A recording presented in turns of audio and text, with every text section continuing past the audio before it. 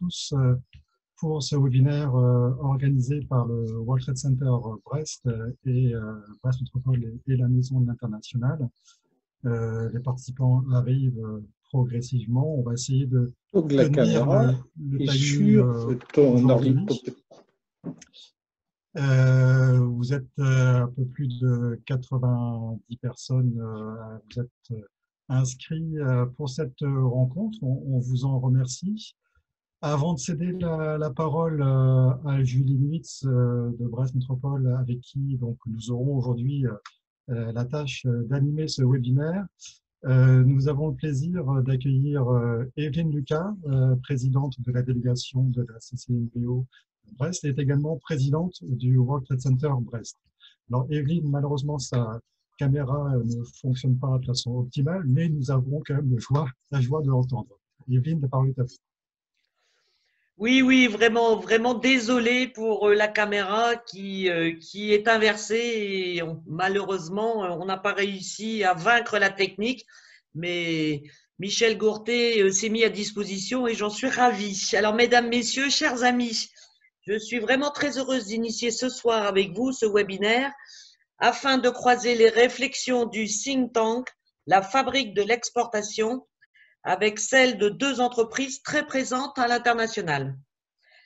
J'ai confiance dans le fait que nous parviendrons à juguler la pandémie qui nous affecte tous et que nous en sortirons transformés car nous aurons démontré notre capacité à opérer dans un monde devenu plus volatile, incertain, complexe et ambigu. mais ce nouveau contexte, c'est aussi l'opportunité de se réinventer, de ne pas reproduire les erreurs passées et surtout de donner du sens à nos engagements. Alors, depuis le lancement du World Trade Center Brest fin 2018, nous portons véritablement l'ambition de contribuer au renforcement de l'ouverture internationale de Brest et de la Bretagne occidentale. En rejoignant le réseau mondial organisé autour de la World Trade Centers Association basée à New York, nous proposons de faciliter les connexions avec les 322 World Trade Centers implantés dans les métropoles et capitales de 90 pays et surtout leur communauté forte de 750 000 entreprises. Le World Trade Center Brest rassemble à ce jour une trentaine d'entreprises actives à l'international. Ce réseau, mesdames, messieurs, est le vôtre. N'hésitez pas à le mobiliser et à vous rapprocher, bien évidemment, de Sébastien Kahn à votre disposition. J'évoquais tout à l'heure le sens de nos engagements et la nécessité de pivoter. Nous nous, réjouissons que le, de la World Trade Centers Association se soit récemment engagé auprès des Nations Unies en soutenant le pacte mondial, Global Compact en anglais, concernant les droits de l'homme, les normes internationales du travail, la protection de l'environnement et la lutte contre la corruption. C'est un signal fort vers l'adoption d'une attitude socialement responsable. Également, autre, illustration de ce changement de paradigme, le magazine Forbes vient de publier le classement des 20 villes les plus attractives pour des expatriés américains pour vivre, travailler ou investir. Eh bien, nous sommes fiers que Brest figure dans ce classement aux côtés d'autres métropoles et capitales européennes. Never let a good crisis go to waste, disait Winston Churchill. L'heure est venue de se réinventer. Ces signaux positifs doivent encore être consolidés et c'est vraiment le sens de notre webinaire de ce jour. Vous donner des clés pour réussir à l'international dans un monde en mutation. Voilà, bon, bon webinaire. Je vous remercie, Evelyne, pour ces quelques mots d'introduction. Et je vais passer la parole à Michel Gourtet, euh, vice-président euh, économie euh, à Brest Métropole. Michel.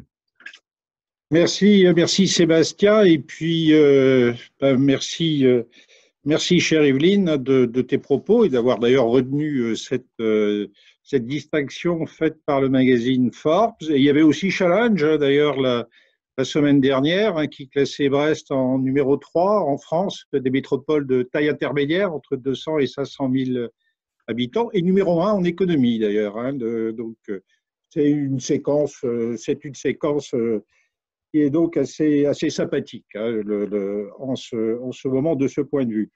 Donc, bah, bonjour, à, bonsoir plutôt à toutes et à, toutes et à tous. Et donc quelques mots hein, d'introduction euh, après, euh, après Evelyne Lucas. Bon, je crois que nous sommes à peu près 80, je crois, hein, réunis là ce, ce, soir autour de la question de, de l'international et de l'internationalisation de l'activité des entreprises. Bon, naturellement, Evelyne l'a dit, hein, bon, on est dans ce contexte Covid qui est compliqué pour les entreprises et que du coup, bah, l'action internationale est également contrainte, euh, notamment et évidemment par la limitation des déplacements. Mais néanmoins, malgré la crise, malgré ce contexte, euh, l'international reste et est une voie de développement essentielle pour de nombreuses entreprises, puisqu'il en va de, la compétitivité de nos entreprises de se frotter à la concurrence euh, internationale. Mais, aussi parce que le contexte est compliqué, c'est justement le moment de ne pas lâcher de terrain, ne pas lâcher prise. Et euh, je crois que cette conférence est là pour éclairer le contexte de l'action à l'international possible dans, ce, dans cette période de Covid, les changements dans les pratiques que cela implique et, impliquera. Et donc, euh, bah, elle va avoir pour objet de, de, travailler, vous allez travailler ensemble à des objectifs euh, euh, pour, euh, pour dégager des recommandations sans doute nécessaires pour s'adapter. Euh, je voudrais pour conclure d'abord remercier hein, les, intervenants, tous les intervenants. Je, vois, je pense aussi particulièrement au président de la fabrique de l'exportation, M. Vauchez, que je salue. Et puis, naturellement, les remerciements aux équipes du WTC, euh, et de la métropole, bien sûr, par la Maison de l'International, donc euh, auquel Sébastien et, Julie, sans attendre, auquel je repasse la parole en vous souhaitant une très bonne conférence à, toutes et à tous. Merci. Merci euh, Michel Gortet.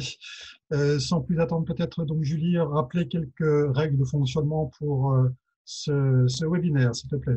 Oui, pas de souci. Donc, ce webinaire est enregistré et vous pourrez retrouver tous ces, toutes ces images et ce film sur euh, brest.fr, sur le euh, site du World Center et sur celui de la fabrique de l'exportation. Excusez-moi. Par ailleurs, pour le public, donc vous avez dû le voir, l'ensemble des micros et des caméras ont été désactivés. Mais par contre, nous, vous attendons sur le chat ou le fil de discussion pour vos questions, vos remarques. N'hésitez pas à poser des questions, nous les récupérerons et nous les transmettrons euh, au moment venu aux, différents intervenants. Si nous ne pouvons pas répondre à l'ensemble des questions, ces questions, nous les traiterons et nous vous apporterons des réponses a, posteriori. Donc, euh, je passe la parole à Sébastien. Julie, effectivement, euh, dans ce, jeu de ping-pong.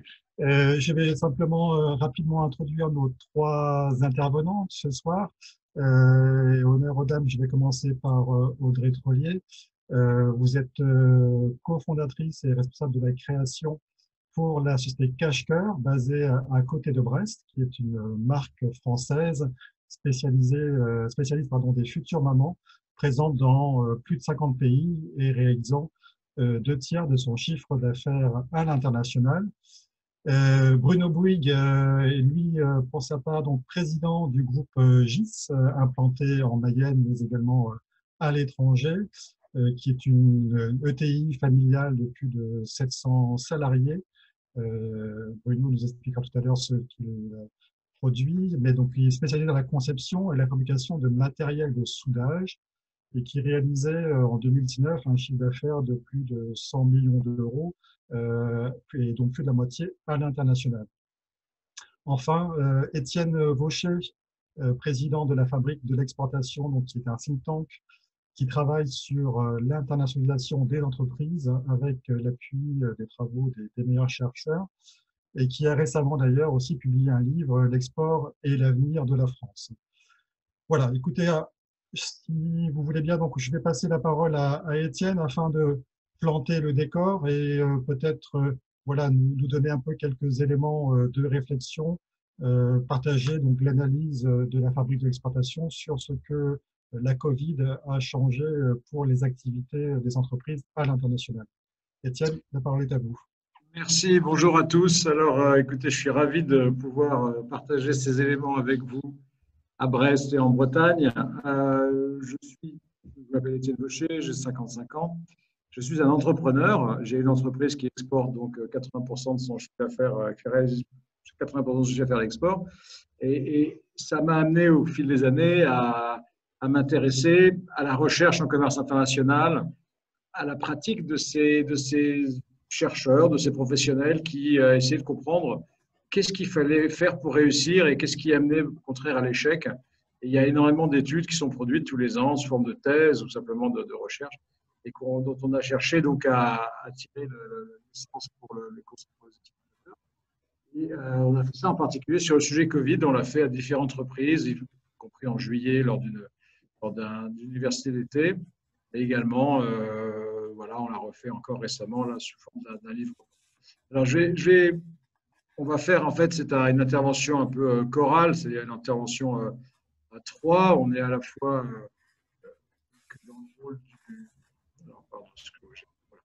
dans le rôle du, donc de,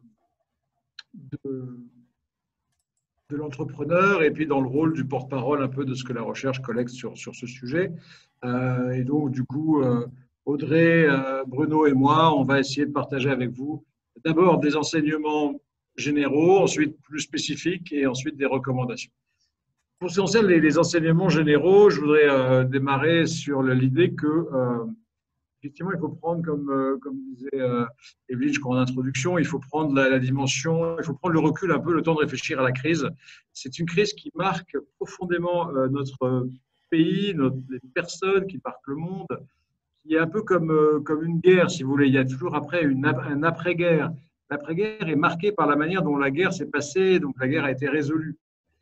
et, là, bien sûr, ce n'est pas la dimension d'une guerre, ce serait une chose pareille, mais je pense que beaucoup plus que la crise financière, cette crise va nous marquer profondément. Elle va marquer une génération, elle va marquer des manières de penser et elle va marquer une manière de faire du commerce international. C'est bien sûr de ça qu'on va parler aujourd'hui, donc on va se des sur ce sujet. Mais euh, ça rentre dans un contexte plus large où, euh, si on ne réfléchit pas bien à la crise d'aujourd'hui, je pense qu'on rate la décennie. Là, on est en train de se placer sur une réflexion sur des, changements, des transformations qui ont un impact sur la décennie. La décennie, euh, jusqu'à 2000. Euh, il y a pas quelque chose qui est assez fort, hein, qui a été mis en évidence dans cette, dans cette crise. C'est une nouvelle cartographie du monde. Les pays les plus avancés ont été les pays asiatiques. L'Afrique a été épargnée, l'Europe et les États-Unis ont les pays, les pays qui ont le, parmi ceux qui ont le plus souffert. Pas du tout. C'est comme ça qu'on était habitué à, voir se dérouler les crises, en particulier les crises sanitaires. Et donc, pour nous, c'est très déstabilisant, pour nous Européens, un peu, un peu ethnocentrique et, et, européocentrique. Euh, eh bien non, en fait, là, sur cette crise-là, manifestement, nos modèles, nos, anticipations, notre notre connaissance n'ont pas été du, tout à la hauteur. Et donc, collectivement, on peut dire que pour l'Europe, c'est quand même un, assez gros échec, hein, la gestion de cette crise. Euh, et donc, euh, ça fait une carte du monde qui va être différente. Il n'y a pas photo. les gens vont garder les images de ce qui s'est passé aussi bien d'un côté en Chine, en Corée, en Taïwan, et d'autre côté euh, en Europe, et aussi en Afrique. On a pensé que la catastrophe c'était en Afrique, et ça n'a pas du tout été. Euh, c'est une crise qui n'est pas du tout finie. Euh, on est dans la période des confinements. Probablement, on va s'épuiser dans les mois qui viennent, mais on va avoir donc la période du vaccin qui va être une période hybride avec la liberté et de la contrainte. il va falloir maintenant qu'on a digéré comment ça fonctionne le confinement, mais il va falloir fonctionner dans le, dans le monde du vaccin. On va en parler bien sûr puisque c'est l'année en fait, 2021, l'année du vaccin. Il y aura beaucoup de stop and go, il y aura des reprises d'épidémies ici et là, il y aura, il y aura des variantes peut-être. Bon, il faut se préparer à des années, et c'est pour ça qu'il faut bien réfléchir aujourd'hui, parce que les années, pas seulement les dix années à venir, mais même les, les, deux, trois années à venir vont être très marquées encore par, par ça. Il y a toujours des opportunités dans les crises. D'abord, ici, cette crise, elle a été particulièrement soutenue, et là, au contraire, l'Europe était particulièrement remarquable. C'est-à-dire qu'elle a particulièrement soutenu, elle a eu de la ressource financière, les États en particulier ont de la ressource financière, mais les banques aussi ont, joué le jeu assez bien pour refinancer l'économie. Alors, mais l'économie n'est pas tombée. Les plans de relance sont assez costauds dans le monde entier. Je crois que ça, je crois qu'on est sur 10 000 milliards de dollars en tout sur l'ensemble des plans de relance. C'est de l'argent qui, bien sûr, ne se met pas sur la table du jour au lendemain, mais qui va progressivement se déployer dans l'économie. Et puis, et puis il y a plein d'entreprises dans le monde, vos concurrents, qui n'ont pas eu les PGE, qui n'ont pas eu euh, l'aide, euh, chômage partiel, des choses comme ça, et qui sont tombés, qui sont en grave difficulté, ou en tout cas qui ne peuvent plus courir avec la même agressivité, qui se retirent de certains marchés, etc. Vous avez donc cette, cette, euh, ce phénomène qui peut être une opportunité pour Et puis vous avez l'adoption massive et forcée du digital, on va en reparler bien sûr, mais ça veut dire beaucoup de choses en termes d'opportunités. Ça veut dire qu'aujourd'hui, en travaillant bien la relation euh, digitale, on peut être presque aussi proche quand on est à Brest de quelqu'un qui est euh, en Inde que de quelqu'un qui est à Marseille. Euh, il y a eu beaucoup de solidarité, comme dans toutes les crises, un peu dans toutes les guerres, des choses, des relations qui sont créées, des gens qui sont entraînés, des bonnes choses qui sont créées. Ces choses-là, bien sûr, ça reste et il faut les, il faut les cultiver. Il ne faut surtout pas penser que la crise, l'après-crise, c'est le retour à la situation de 2019 il y a plein de domaines dans lesquels euh, les choses ne vont pas du tout revenir à 2019. Elles vont continuer à se transformer. Elles vont rester comme elles sont aujourd'hui. Euh, les crises ne sont pas élastiques. On ne tire pas sur un élastique et après ça revient à la situation d'avant. C'est bien sûr un des thèmes importants de cette discussion ce soir. Qu'est-ce qui, dans ce qu'on va décrire, va revenir au status quo ante?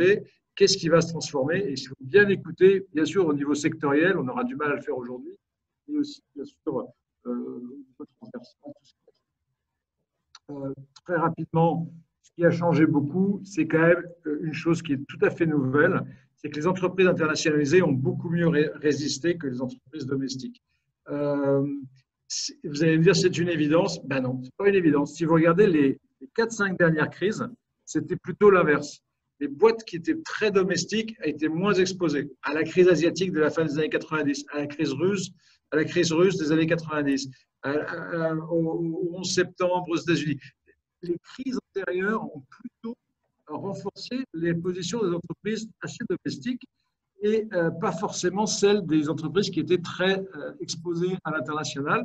Cette crise, c'est l'inverse.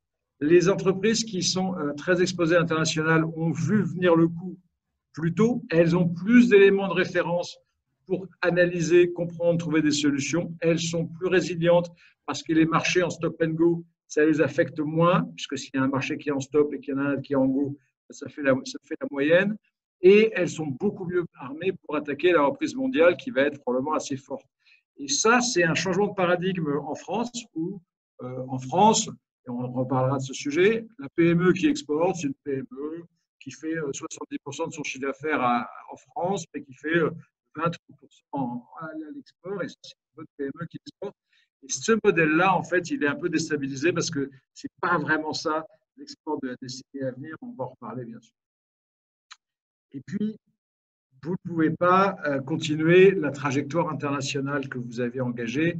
Vous ne pouvez pas la continuer euh, comme ça, euh, sans, sans, rebattre les cartes, sans re-réfléchir là où il y a des pays qui vont beaucoup souffrir parce qu'ils sont beaucoup endettés, parce qu'ils ont beaucoup perdu d'économie, parce qu'ils ont des vraies difficultés à se remettre en mouvement. Et il y a des pays qui sont déjà repartis en mouvement.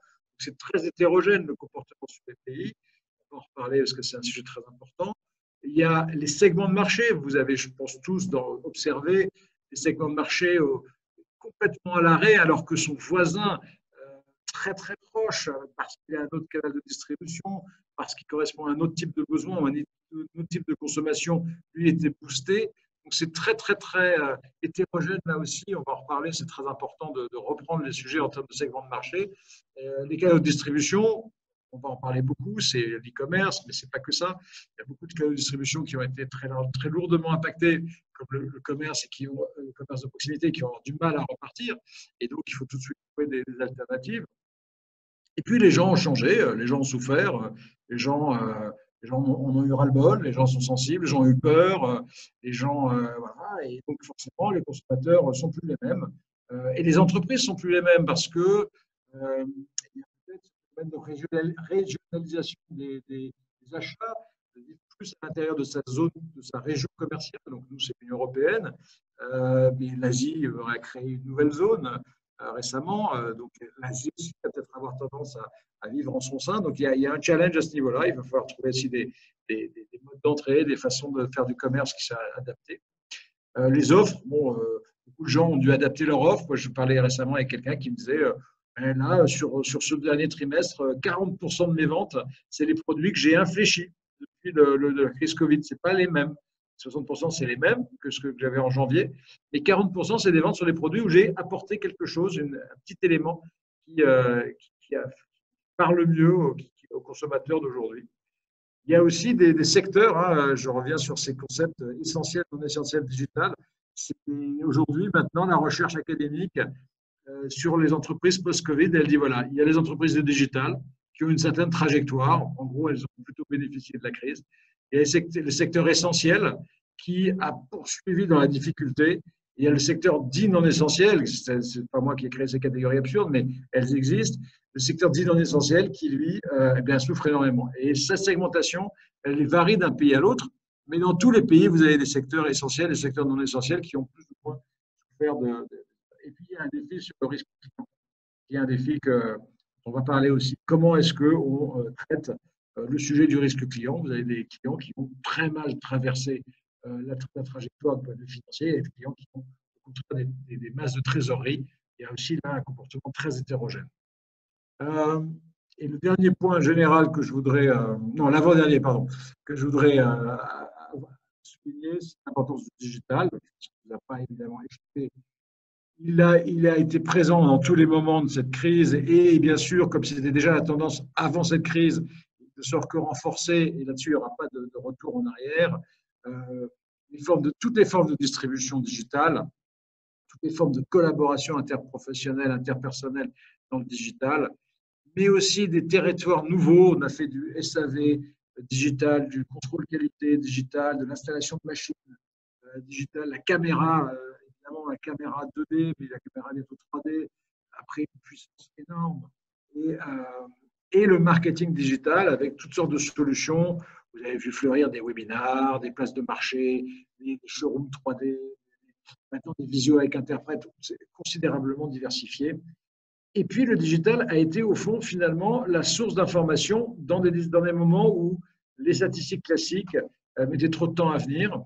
Euh, suivre les, requêches, les recherches par mots-clés euh, sur l'année 2020, euh, sur le mot-clé webinar, sur le mot-clé masque, sur des tas de mots-clés comme ça qui ont été clés. Vous verrez que ça raconte l'histoire de l'année.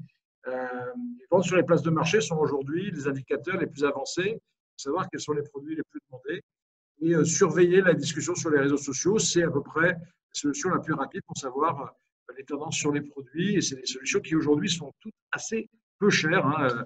Euh, assez accessible euh, du point de vue économique. Il faut juste euh, en faire l'apprentissage et, et, puis, c'est l'année où on n'a pas pu prospecter, on n'a pas pu voyager.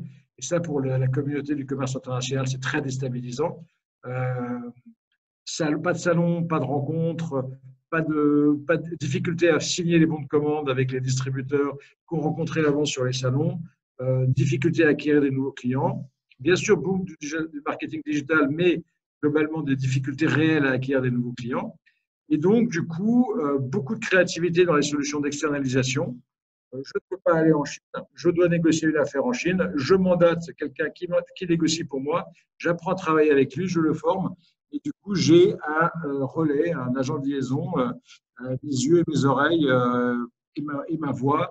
Et donc, je peux continuer à négocier en Chine un peu en digital et un peu en présentiel avec ce genre de relais, ce genre de solutions créatives euh, qui se développaient ou en coopération. Je connais une entreprise amie qui a quelqu'un en Chine ou dans un pays et qui, avec qui je peux euh, travailler pour qu'il porte les, intérêts dans ce pays.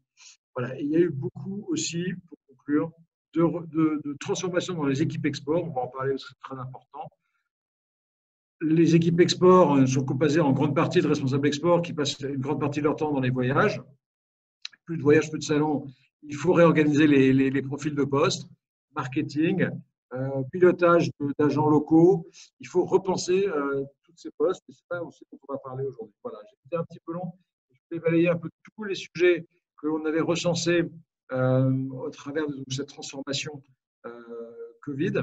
Et puis maintenant, je vais laisser la parole donc, aux chefs d'entreprise. Peut-être, Sébastien, vous voudrez reprendre la balle et pour qu'ils puissent, eux, dire comment dans leur entreprise, ils ont vécu l'ensemble de, ces transformations. Merci, Monsieur Vaucher. C'est moi qui reprends la balle au bon.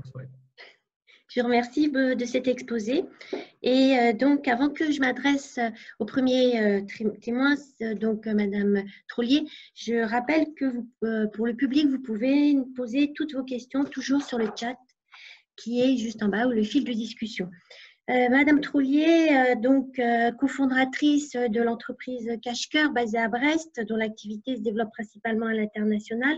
Est-ce que dans un premier temps, vous pourriez nous présenter votre, votre entreprise et ensuite nous dire dans quelle mesure vous avez adapté votre effort à l'international dans ce nouveau contexte, ainsi que votre prospection? Je vous laisse la parole. Merci Julie. Euh, bah, tout d'abord, merci d'avoir pensé à nous, à notre petite entreprise bretonne un peu cachée qui, qui se développe très fort à l'international depuis le début. Donc, on a créé notre activité en 2008, déjà dans une crise un petit peu sévère. Euh, on est dans un marché niche, donc on est spécialisé dans la lingerie de maternité et d'allaitement. Euh, la France a quand même un joli savoir-faire sur la mode, sur la lingerie. Donc, euh, tous ces éléments nous ont fait nous diriger vers l'export assez naturellement, en fait, dès la première année. Donc, c'est vrai qu'aujourd'hui, l'export, ça pèse 70% de notre chiffre d'affaires. c'est quand même une part très importante. Ça fait partie de l'ADN de Cache-Cœur depuis le début. on est distribué dans près de 60 pays. Euh, on a à peu près 2000 clients en B2B, donc on distribue notre marque à des gros vendeurs qui distribuent euh, nos produits aux clients finaux. Donc voilà un petit peu, c'est vrai que l'export, ça a toujours été notre force parce que quand il y a une crise dans un pays, comme vous disiez, c'est pas pareil ailleurs et on arrive à jongler, ça a toujours été assez confortable et, une, vraie, dynamique chez nous. Euh, et puis au mois de mars, bah voilà, tout s'arrête. c'est assez brutal. Et c'est très brutal puisque en une semaine, c'est à peu près tous nos marchés, à part l'Islande et la Grèce. Euh, mais ce ne sont pas nos marchés principaux, donc on a, on a dû faire preuve d'agilité, euh, vraiment de se repositionner. Donc sur plusieurs points déjà.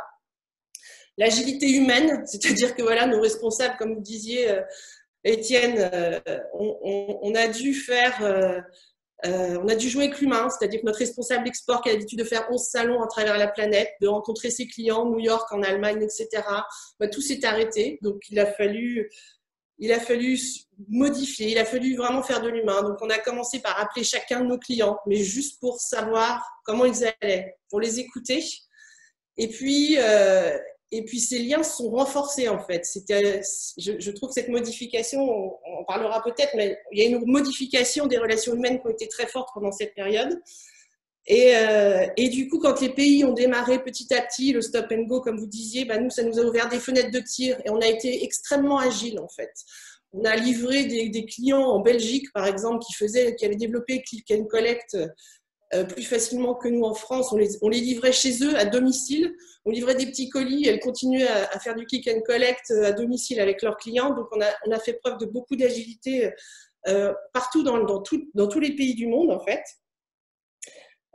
ensuite, on a aussi recruté on a renforcé parce que nous, le, confinement en France, bah, nous, ça a été assez brutal dans l'effectif. C'est-à-dire que bah, des confinements, euh, des jeunes couples qui s'étaient formés ont, eu des projets de, partir de Brest. Donc l'équipe, nous, a été aussi en mutation. Il a fallu, il a fallu réinventer l'équipe aussi export. Donc on a, on a recruté hein, dès le mois de mai, on a eu de nouveaux profils et dans les profils qu'on a qu'on a qu'on a trouvé, on a pris euh, des profils qui pouvaient nous accompagner sur la digitalisation, ah, je vais y arriver, sur le B2B digital. Euh, c'est-à-dire, euh, aujourd'hui, on a ouvert des comptes, euh, par exemple aux États-Unis, au mois de mai, on a ouvert un compte chez Nordstrom. Donc Nordstrom, c'était les galeries Lafayette américains. alors, c'était un modèle qui nous plaisait pas trop, puisque c'est un modèle qu'on appelle euh, dropshipping. Donc, on a notre stock, notre stock euh, qui est aux États-Unis. Donc, le Nordstrom n'achète pas nos produits, mais c'est des marketplaces. Donc, en fait, on, présente nos produits et Nordstrom les commercialise pour nous et nous paye après, euh, après leur, après leur business, en fait, nous payent nos produits commercialisés. Donc, on prend le risque du stock.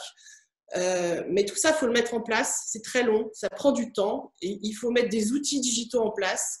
Il faut, il faut mettre euh, notre plateforme logistique, euh, tout en relation. Enfin voilà, c'était extrêmement compliqué. Donc l'équipe export nous a apporté aussi euh, ce, moyen de développement et on continue. On va le faire de plus en plus. On va, on va le développer aussi avec Zalendo l'année prochaine. Et donc, du coup, les, voilà, les commerciaux export se sont transformés en logistique export et digital. Voilà. Donc, dans l'humain, ça, ça a été beaucoup d'agilité. Euh, et puis, euh, bah, la stratégie digitale, effectivement, ça faisait partie de nos plans déjà en 2018. Donc, on avait aussi des recrutements sur la partie digitale. Donc, on a, été au bout de ces recrutements et on en est très heureux puisque aujourd'hui, euh, bah, vous, vous, allez voir les fruits que début 2021 hein, parce que ça, c'est pas rapide malgré tout. donc, donc, dans la digitalisation déjà de la prospection, puisque tous nos salons sont annulés, donc on a on a installé ce showroom que vous pouvez voir derrière moi, donc une salle de réunion, euh, hop, hop, hop, on a acheté une superbe webcam pour essayer de vendre du textile à, des milliers de kilomètres, euh, avoir un rendu, un tombé, etc. C'était extrêmement compliqué. Donc, euh, on a mis en place ces outils pour, pour, pour nos commerciaux et, et, notre showroom a rencontré des vrais succès. Enfin, voilà, du, mois de juillet jusqu'au mois d'octobre, enfin, la, la, salle était pleine tout le temps. Donc, ça, c'était assez formidable et assez porteur. Au moins, on n'a pas perdu de chiffres à ce niveau-là. Euh, l'export a redémarré plutôt rapidement avec ça. Et puis, euh, bah, la diversification de nos réseaux aussi euh, de distribution, comme vous le disiez. Aujourd'hui, nous, notre, 90% de notre chiffre d'affaires, c'est du B2B. Donc, bah, quand les B2B sont fermés, qu'est-ce qu'on fait? On n'existe plus. On ne peut pas vivre avec 10% du chiffre d'affaires. Donc, il a fallu repenser vraiment B2C, c'est-à-dire euh, vendre et communiquer aux clients finaux, puisque nos, revendeurs ont l'habitude d'expliquer la qualité cache-cœur, euh, euh, la qualité des produits, toute la qualité, toute l'histoire de la marque. Et là, du coup, c'était une partie qu'on avait un peu délaissée. Donc, c'est vrai qu'on a, a pris vraiment beaucoup de temps, mais on est en train de redéfinir complètement la marque, un nouveau logo, une nouvelle image. On a investi beaucoup dans tout ce, qu'on appelle le storytelling et tous les, outils digitaux qui vont être beaucoup plus agiles. On est en train de changer de plateforme euh, pour, notre, site internet B2C. Euh, donc euh, tout ça, vous allez voir début 2021. Et, ça a été pour nous quand même, je trouve, ça a été dur, ça a été brutal, mais ça a été une vraie opportunité de, de repenser les choses et prendre un petit peu de temps, un peu de recul sur des stratégies qui des fois euh, bah, nous dépassent, enfin vont plus vite que nous. Donc ça, en conclusion, pour nous en tout cas, l'export, hein, je le dis, mais ça a été encore notre force puisqu'on a progressé en 2020 malgré tout sur l'export. Donc ça, c'était formidable. Le B2C chez nous a progressé également, donc les ventes sur Internet direct. Euh, la difficulté, ce qui a pénalisé euh, cette année pour nous, c'est le, B2B France avec des, gros réseaux de distribution physique en France qui, qui fait que bah, du coup, on va perdre un petit peu de chiffre d'affaires, mais euh, qu'on a réussi à minimiser grâce, grâce à la progression à l'export. Donc, donc voilà. Ok, merci, merci Audrey, effectivement, pour ce retour très, très pratique. Euh, peut-être euh, une question, enfin, comment passe-t-on, je dirais, d'une organisation bah, très physique, avec, vous disiez, 11 salons sur l'année, à avoir bah, vos 2000 clients et plus, parce que si vous avez des clients B2C désormais en contact, ça suppose quand même de redimensionner euh, et de reconfigurer. Alors, vous nous avez expliqué effectivement un petit peu l'approche des profils, mais euh, voilà, comment est-ce qu'on garde un contact avec 2000 euh, comptes clients? Bah, L'équipe export a toujours été importante chez nous, donc ils sont trois à appeler, à prendre leur téléphone, toute la journée et ils ont beaucoup d'énergie. L'équipe est très, est, très, est très jeune chez nous et ils, ont, ils sont vraiment senti investis d'une mission aussi. Il y a eu vraiment un, gros enjeu et, et l'envie d'avancer malgré tout et de voir les résultats qui arrivent parce qu'il y a eu des résultats euh, enfin, très rapidement euh, après ce confinement. Et, voilà, simplement, je pense que, je pense que l'humain a été très important, en fait. Et, puis, tout le monde s'est entraidé. nous, pendant le confinement, on a préparé quelques colis. Hein. les commandes Internet, euh, on en a fait quelques-unes. Euh, répondre à un client B2C, bah, tout le monde connaît les produits, nos commerciaux export les connaissent parfaitement bien. Euh, s'il faut, s'il faut, euh, s'il faut donner un petit coup de main euh, pour répondre à une cliente parce qu'on n'est pas là, enfin parce que la personne digitale n'est pas là, voilà, il y a, aucune, on n'a pas eu de difficulté là-dessus. Voilà, sur la flexibilité de l'équipe et, et les en remercie parce que je sais que certains nous écoutent, donc, donc, donc voilà. c'est avant tout les, les, hommes et les femmes qui composent l'entreprise, leur mobilisation et et leur investissement. Merci euh, en tout cas Audrey pour, pour ce retour et puis on aura l'occasion de, de, revenir vers vous. Je, me tourne euh, maintenant vers euh, Bruno, Bruno Bouygues, donc président de la société GIS. Bruno, peut-être juste en préalable, nous, nous, rappeler un petit peu les, les métiers de l'entreprise, comment vous, vous distribuez vos, produits et puis évidemment la, question qui, qui nous intéresse aujourd'hui, c'est comment vous vous êtes transformé, réinventé pour continuer à, vous développer à l'international. Merci beaucoup en tout cas de m'avoir invité et bravo Audrey pour tout ce que vous avez mis en place pendant le, confinement et pendant toute la période. Euh, J, c'est une ETI euh, industrielle qui est basée à Laval. On a donc trois métiers. On fait du matériel de soudage pour des clients de type artisan, industrie et peut-être petit maintenant le monde de la robotique. On a une activité de fabrication de chargeurs de batterie pour euh, tous les univers. On fait des batteries euh, plomb, on fait des batteries lithium. Ça va de la petite électromobilité en ville jusqu'au satellite. on a une gamme très large de produits et de clients euh, complexes. Et puis on fait du matériel aussi de réparation de voitures. Et on distribue nos produits dans 130 pays. Euh, JC à peu près un petit peu moins de 800 personnes actuellement pour, comme vous l'avez dit, un chiffre d'affaires de 100 millions d'euros. Alors, D'abord, la, crise, on l'a vécue euh, plusieurs fois. Euh, la première fois, et ça nous a été un peu salvateur, c'est qu'on l'a d'abord vécu en Chine, euh, très tôt. Et quand vous êtes industriel et que vous avez la chance de vivre un premier confinement en Chine, ben, ça vous donne des clés pour pouvoir prendre un certain nombre de décisions pour l'Europe. Et une des, une, des, décisions qu'on a prises rapidement, c'est d'acheter beaucoup de stocks c'est grâce à ce stock en fait qu'on a pu rattraper euh, une partie du chiffre d'affaires qui a été finalement à la baisse pendant toute la période du premier confinement. Donc, si je mets un peu cette, euh, parenthèse de côté, euh, pendant toute cette aventure, finalement, on a eu un certain nombre d'expériences, d'apprentissage, et je les ai listés, donc je vais essayer de les mettre de façon un peu didactique. Alors d'abord, le premier apprentissage qu'on a, euh, c'est d'abord la notion d'horizon. Quand il y a une crise, ce qui est très important, c'est de comprendre où est-ce qu'on en est dans la crise sur la, temporalité de la crise. Est-ce qu'on en est au début? Est-ce qu'on en est au quart, à la moitié? Euh, Est-ce qu'on en est aux deux tiers Et euh, c'est vrai qu'on s'est beaucoup trompé cette année sur la longueur de cette crise, mais j'ai le sentiment qu'en ce moment, après presque un an depuis l'apparition du Covid, qu'on en est à peu près à la moitié. Et donc c'est important si on a cette conviction parce que euh, bien, il ne reste pas autant de temps de ça euh, pour se repréparer à une nouvelle normalité qui va arriver à horizon un an. Donc le premier euh, conseil que je donnerais à tout le monde, c'est attention, on est déjà à la moitié du guet. Il ne reste plus qu'un certain laps de temps avant de repartir tous à la conquête de nos marchés, non pas qu'en digital, mais en digital et en physique. C'est ce mix qui va changer. Le deuxième point, c'est dans ce mix entre le, physique et le digital, quelle va être l'importance des voyages? Ça fait deux ans, ça sera deux ans à la fin de l'année prochaine que peu de gens auront voyagé pour l'export. Donc c'est sûr qu'on ne passe pas de 100 à 0 et de 0 à 100 en une journée. Donc c'est important de comprendre comment euh, eh bien, euh, les voyages vont se réinscrire dans cette stratégie export qui s'est de fait euh, digitalisée pendant deux ans. Euh, c'est pas si évident. Euh, il, faut, de la confiance. Il y aura peut-être une notion de nouveau passeport électronique avec des, certificats de vaccination. Donc, on va devoir apprendre. En tout cas, chez Gilles, ce qui est sûr, c'est qu'on voyageait beaucoup. On a au département export aujourd'hui 21 personnes. On faisait en moyenne 50 voyages par mois.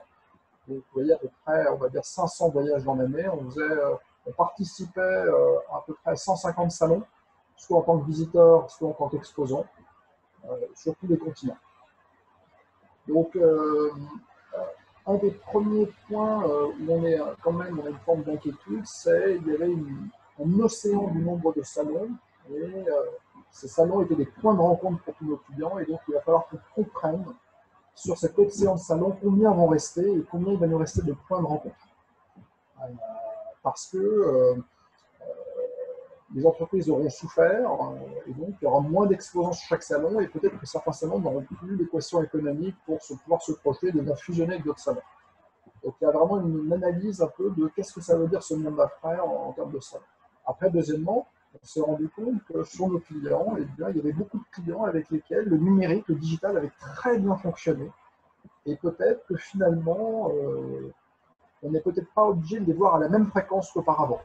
On peut peut-être organiser. Et donc, il y a une question qu'il faut se poser dans les fréquences qu'on avait auparavant. Par exemple, chez Gis, un client qui dépassait une certaine taille, eh bien, on se disait qu'il fallait le voir au minimum une fois tous les 18 mois. Maintenant, on va pouvoir se poser une question. Ben, peut-être qu'un client, euh, ben, on ira le voir tous les 18 mois s'il dépasse une taille un peu plus grande. Et le reste, finalement, on le fera en visio. Donc, il y, a, une question de quelles sont les métriques qu'on avait et comment on réajuste avec tout ce qu'on a appris sur le digital pour repenser un peu ces métriques. Donc, ça, c'était le, deuxième point. Le troisième point pour nous, euh, c'est que cette crise nous a donné du temps pour réfléchir à ce qu'était notre notion de l'export. Finalement, c'est quoi l'export? C'est quoi notre stratégie, c'est quoi les outils, en quoi on se différencie vis-à-vis de nos confrères? Et alors, d'abord essayer de répondre un peu à ce qui était l'export. Nous, avant le Covid, jusqu'à. La réflexion avait commencé un peu avant le Covid, il y avait la France et l'export, finalement le reste du monde. Aujourd'hui, on voit une accélération d'une nécessité de mise en place d'une politique de prix intelligente pour l'Europe. Et on est en train de commencer à séparer l'Europe du reste de l'export. Finalement, l'Europe, ce n'est plus l'export, c'est autre chose. Et donc, il faut qu'on réfléchisse finalement à deux concepts d'export. Quand on est en France, il y a l'Europe et le reste du monde. Donc, quels sont les outils Comment on réorganise les équipes Parce que euh, il faut qu'on commence à créer l'Europe comme ce que je vais appeler un grand marché domestique avec un certain nombre de règles, des attributs, et donc ne pas penser exactement ces marchés entre guillemets export intra-européens comme les marchés export extra-européens. Euh, euh, le, troisième point, c'est dans une stratégie export digital, et Étienne l'a très bien dit, euh, la notion de distance n'existe plus. C'est-à-dire que parler à un client en Indonésie, en Afrique du Sud, au Brésil, c'est aussi difficile que de parler à un, client en Belgique. Et donc la question, ce qui est assez intéressant, c'est quand vous êtes exportateur, souvent vous, réfléchissez en termes de coûts donc on se dit, bon, ben, ce marché est plus proche, il y a moins de barrières douanières, techniques, etc. Donc je vais prospecter ce marché d'abord en cercle concentrique. En fait, on travaille beaucoup en cercle concentrique autour de chez soi. Le, digital, ça, casse un peu ce, phénomène de cercle concentrique. Et finalement, tous les pays sont à même distance. Et donc, il faut réfléchir plus en termes de potentiel d'analyse de marché. Et un des points qu'on s'est rendu compte cette année, c'est qu'avec le digital, on avait travaillé à peu près les, pays de façon à peu près équivalente, mais les résultats finalement avaient été meilleurs dans les pays dans lesquels les populations et l'économie étaient plus fortes. Donc on se dit aujourd'hui que ben, il va falloir qu'on réfléchisse peut-être que ces stratégies de cercle concentrique autour de la maison, c'est peut-être pas l'alpha et l'oméga, et qu'il faut qu'entre le physique et le numérique, on ait une double stratégie euh, pour aller chercher des, parts de croissance et des relais de croissance pour les deux. Alors, dans ce discours digital et numérique, on s'est rendu assez vite compte que ben, quand l'humain, on n'était pas en présence physique, on perdait un peu ce sens animal, cette perception de comprendre qu'est-ce que le client, qu'est-ce que le client aime ou n'aime pas. En fait, je pense qu'on a un sens où, quand on est en physique, on perçoit les ondes d'autrui. Et on s'est rendu compte dans les visios que ben, si on n'apporte pas rapidement quelque chose de plus, dès la deuxième visio, eh bien, euh, finalement, le, client était beaucoup moins réceptif, beaucoup moins à l'étude. Et on s'est dit, ben, on va commencer à mettre en place euh, de la formation sur nos produits. Et c'est là où, en faisant un audit de ce qu'on avait, on s'est rendu compte du manque de contenu digital, de contenu formation de, tous nos produits. En fait, on avait beaucoup de choses, on avait une tradition orale, mais cette tradition orale n'avait pas été retranscrite suffisamment, que ce soit aussi bien en termes de photos, que ce soit en termes de vidéos, que ce soit en termes de documents PDF. Et donc, en ce moment, on, travaille, on a embauché des personnes pour aider à mettre en place du digital euh, en termes de contenu. Donc, je pense que sur Gilles, c'est un des points très importants, et ce sera aussi un effort post-Covid, c'est que les équipes marketing contenu, en fait, notre objectif, c'est de les tripler sous 5 ans.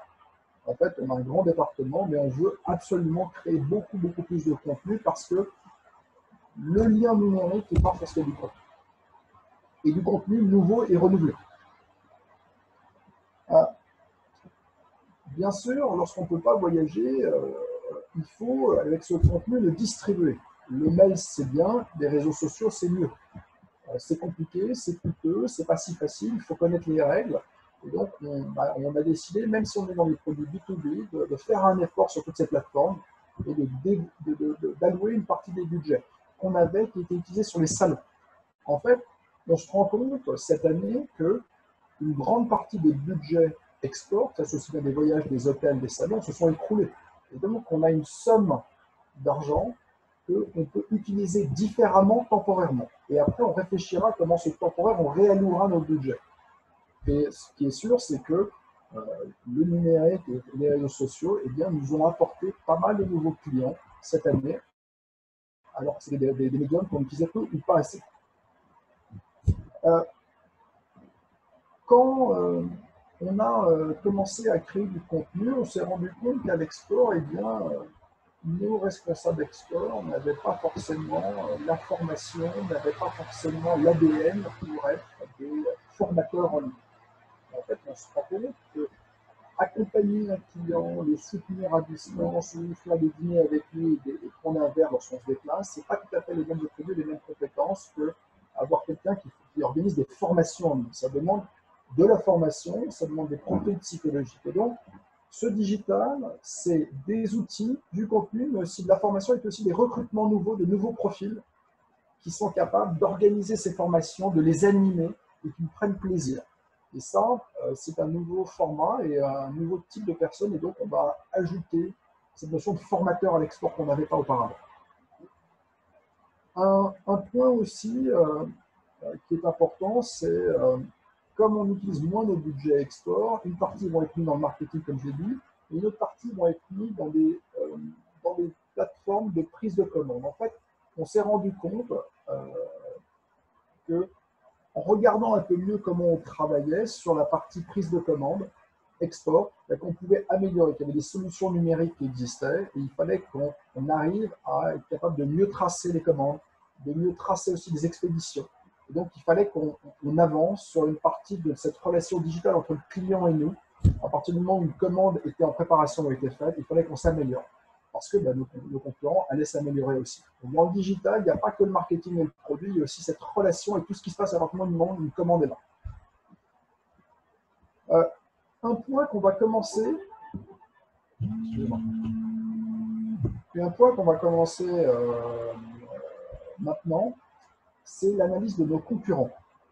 Euh, on a le sentiment que on avait un écosystème concurrentiel avant le Covid et que cet écosystème concurrentiel a été chamboulé par le Covid. Et ce n'est pas évident de savoir en 2022 finalement comment la matrice force et faiblesse de chacun va se sortir. donc on va essayer de commencer un travail pour essayer de comprendre ben, finalement euh, est-ce que les convictions qu'on avait il y a un an seront les mêmes que les convictions dans un an? Comment on se différencie? Comment on y arrive? Qu'est-ce qu'on peut faire?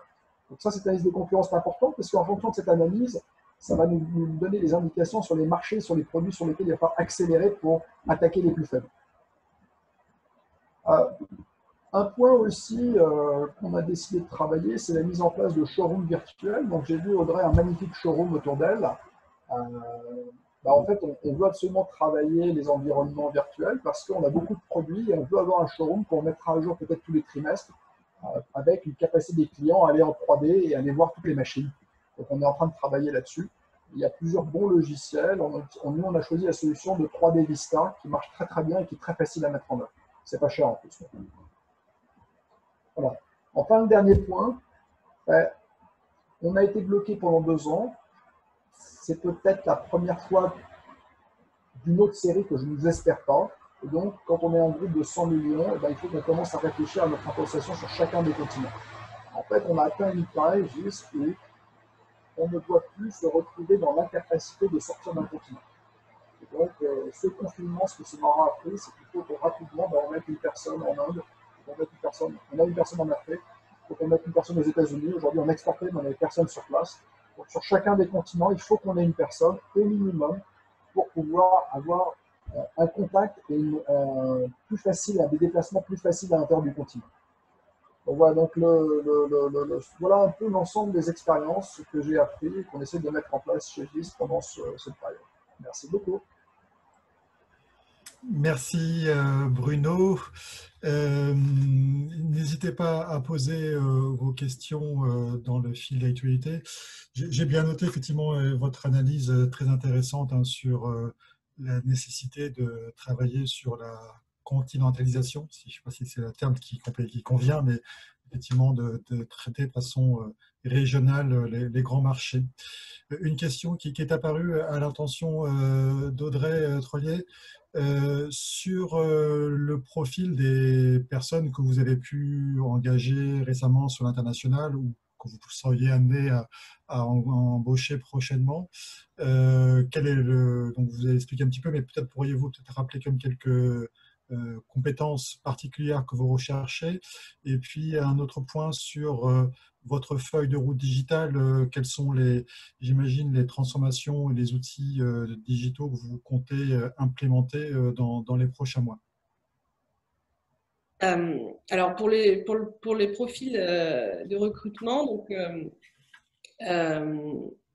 en fait, euh, l'anglais, c'est indispensable, mais souvent une troisième langue, pour nous, c'est extrêmement important.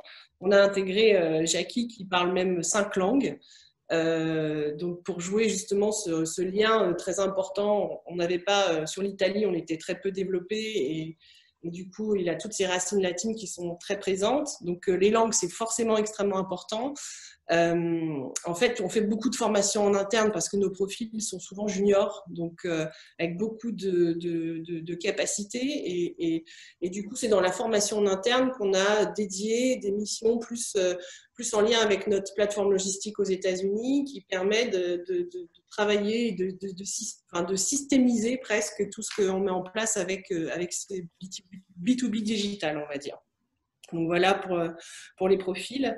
Euh, après, la, deuxième partie de la question, c'était quoi la stratégie digitale exactement, c'est ça? Oui, effectivement, enfin, dans la, mutation de vos activités vers, vers le digital, euh, quelles sont les, grandes étapes et les outils dont vous comptez, euh, a priori, si j'ai bien compris la question Alors, en fait, on, est, on, est, une marque qui, on travaille, enfin, on est marque du textile, mais avec des vraies valeurs depuis le début, c'est-à-dire qu'on on n'achète pas en showroom, on développe vraiment nos produits en interne, on met au point en interne et on, travaille en façon avec plusieurs ateliers partout, euh, partout, en Europe, en France aussi.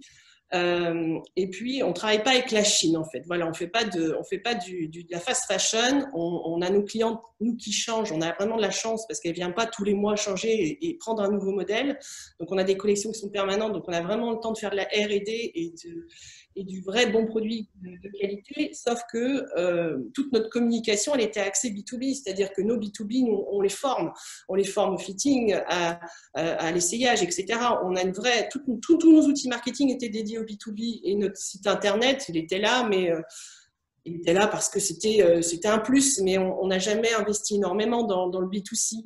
En fait, aujourd'hui, dans le textile, en tout cas, il existe euh, des modèles 100% digitaux de gens qui ne, ne, connaissent pas grand-chose en textile, mais qui ont une vraie histoire à raconter et qui, explosent. Nous, on a une vraie belle histoire et on la racontait vraiment pas en direct. Donc, en fait, on est en, train d'écrire cette histoire, on est en train de parler de nous, euh, on est en train de, de, poser les choses pour montrer que la marque a du sens et qu'on a des vraies valeurs, en fait. Et, c'est tout ça qu'on est en train de mettre en place et de et d'écrire, de poser en fait, vraiment. Et donc là, on, on verrait, mais que début d'année, parce que ça prend un petit peu de temps. Et voilà. Et en plus, on a envie de se diversifier. C'est-à-dire qu'aujourd'hui, on, est euh, on est déjà sur un marché niche, mais on fait de la lingerie, du maillot de bain, du pyjama, des bijoux aussi. Et on va certainement diversifier vers le prêt-à-porter. C'est un premier pas qu'on a fait en, développant une marinière avec Armand Luxe, fabriquée en Bretagne. Euh, mais en fait, on va, on vraiment travailler prêt-à-porter certainement qu'en en, B2C. C'est-à-dire qu'on va pouvoir faire un vrai qualité, une qualité de produit euh, made in Portugal, made in France sur certaines, pièces, mais en court-circuitant le B2, enfin le, détaillant, en fait, on va quand même avoir des prix accessibles avec une qualité euh, formidable. Voilà. Merci. Peut-être une question pour, pour Bruno. Sylvie euh, qui demande pouvez-vous développer les raisons qui vous poussent à envisager les marchés européens comme un seul bloc? Euh, Il y a pas mal de différences culturelles, d'habitudes entre les pays du sud, du nord et de l'est. Donc voilà, qu'est-ce qui, qu'est-ce qui vous pousse à, traiter l'Europe comme un, marché différent, ou un marché unique plutôt? Qu'est-ce que ça a vocation d'être en même temps. En fait, J, c'est un acteur dans le B2B et on constate depuis trois ans une accélération des fusions-acquisitions dans la distribution, que ce soit aussi bien dans la quincaillerie que dans la fourniture industrielle, avec beaucoup de groupes français qui achètent des Italiens, des Espagnols qui achètent des Allemands, des Polonais qui achètent des Tchèques. Et en ce moment, on se rend compte que même si politiquement, même si culturellement, il y a des différences majeures, il y a même des différences de pouvoir d'achat, il y a quand même une accélération de, la mise en place de réseaux de distribution euh, pan-européens. En plus, euh, on a des grandes plateformes numériques qui sont en train de mettre en, qui sont en train de communiquer. Je pense par exemple à Amazon, sur lesquels on a quelques produits qui sont distribués par des distributeurs, qui sont en train de, de communiquer de façon pan-européenne. Donc en fait, aujourd'hui, la notion de prix en Europe elle est très euh, sensible et il faut véritablement s'assurer qu'on arrive à avoir une uniformité des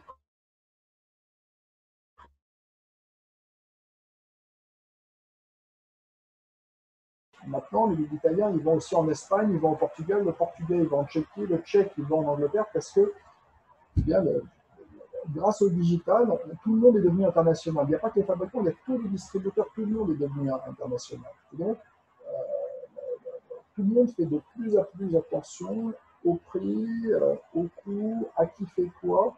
Et donc, pour nous, dans les machines, entre le prix, le SAV, la distribution, eh bien, on doit harmoniser tout ça pour que tout le monde puisse vivre, s'organiser, travailler. Euh, et le deuxième point qu'on a, c'est qu'il y a aussi un changement très fort euh, des business models dans lesquels auparavant on travaillait avec dans un modèle importateur grossiste qui revend un distributeur qui revend un utilisateur. En fait, la majorité des distributeurs qui étaient clients d'importateurs sont allés sourcer en direct partout dans le monde. Et donc, on assiste à une désintermédiation plus ou moins forte partout dans le monde, mais elle est très visible en Europe, qui, est, un endroit où le digital et les grandes plateformes numériques jouent un rôle, mais où cette désintermédiation crée des différences de prix très fortes en fonction des pays. Et c'est pour ça que l'Europe, pour nous, eh on essaye d'être euh, très vigilant, on crée des stratégies pan-européennes de prix, on regarde un peu les nombres de réseaux de distribution dans chaque pays et on, est très très vigilant. Je ne sais pas si j'ai répondu à votre question ou pas. Je pense que oui. Euh, on va peut-être passer à la seconde séquence avec euh, Étienne et il y a deux questions qui seront peut-être euh, merci en tout cas Audrey et, Bruno, donc vous aurez l'occasion d'être ressollicités par la suite. Mais deux, questions, euh, je dirais, euh, qui, peuvent concerner l'écosystème. la première portée autour des VIE, effectivement, ce sont des outils qui peuvent être mobilisés et il y a des dispositions actuellement qui favorisent la mise en place de VIE avec un chèque euh, de 5 000 euros euh, par VIE donc euh, recruté. Et également une autre, donc ça c'était Xavier qui posait cette question-là, et une question également de, Fatima qui, qui, est un peu liée aussi, je dirais, à l'écosystème, et c'est pour ça aussi que j'adresse vers Étienne. Est-ce que les clusters ou incubateurs de la région ont contribué à renforcer les, capacités de digitalisation des entreprises et par le coup donc leur expansion internationale. Voilà, donc c'est deux, aspects, je dirais, de l'écosystème, donc les VIE et puis les clusters sur le plan digital. Est-ce que c'est des, des, sujets, Étienne? Et puis peut-être que Bruno et, Audrey pourront compléter par la suite. Bruno, je vous laisse la parole. Euh, Étienne, pardon, excusez-moi. Ah, pardon. je, vais inclure ces éléments dans, mes trois slides de recommandations.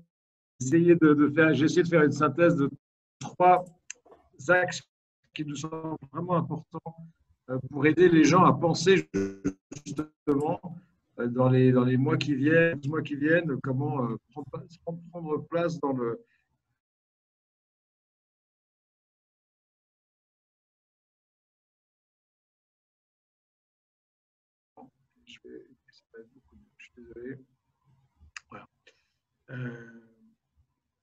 Voilà. Euh, une des idées importantes, je pense, qu'il faut retenir, ce euh, c'est le changement de paradigme de la PME exportatrice.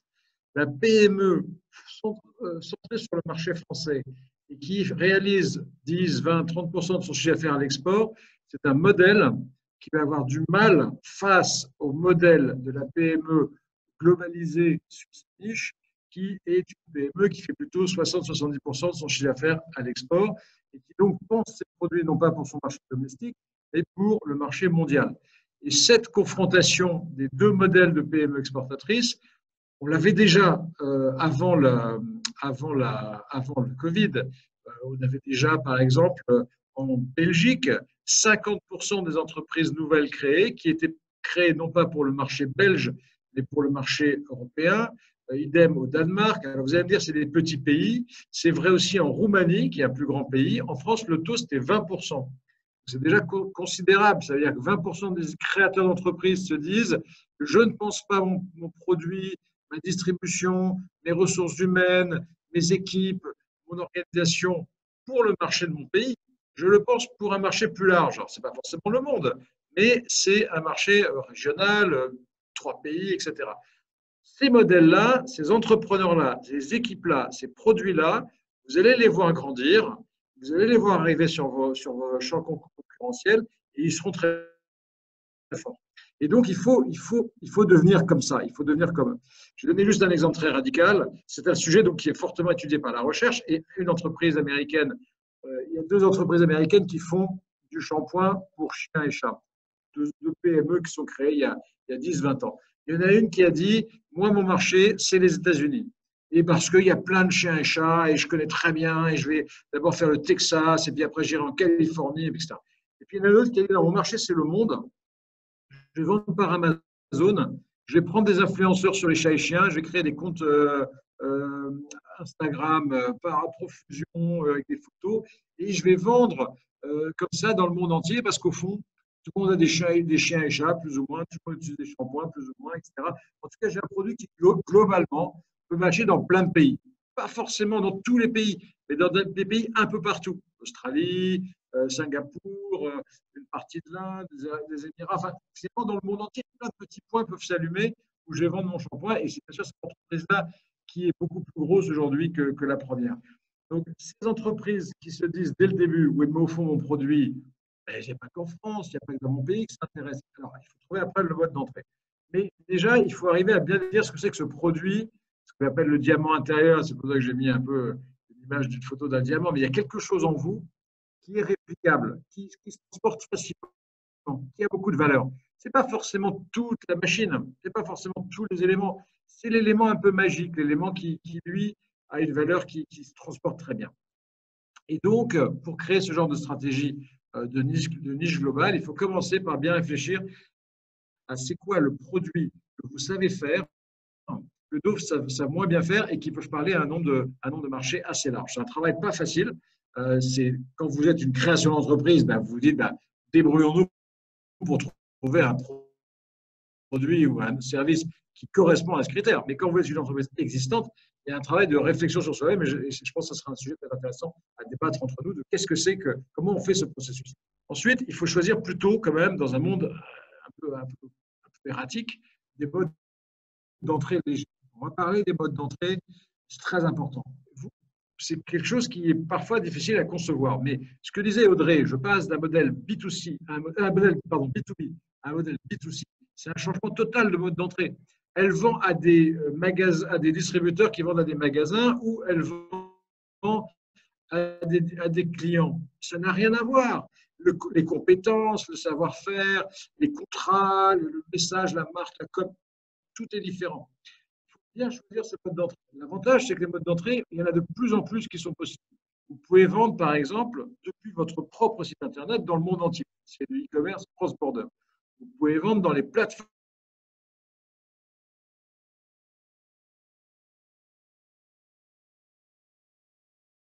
se développe beaucoup. Vous pouvez euh, faire des franchises, vous pouvez activer des agents, des distributeurs.